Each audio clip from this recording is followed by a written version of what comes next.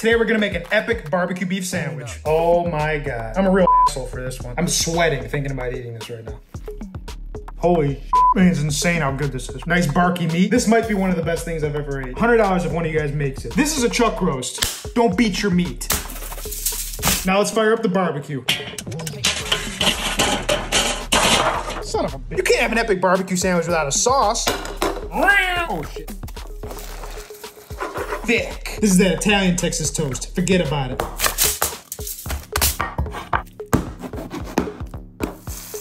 Beautiful. You know, we need something crispy.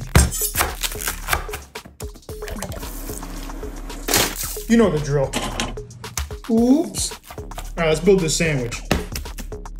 I wasn't planning on doing this, but since we're here, Oh, oh, this is last meal vibes right here. And as always, the full written recipes on my Instagram or YouTube description.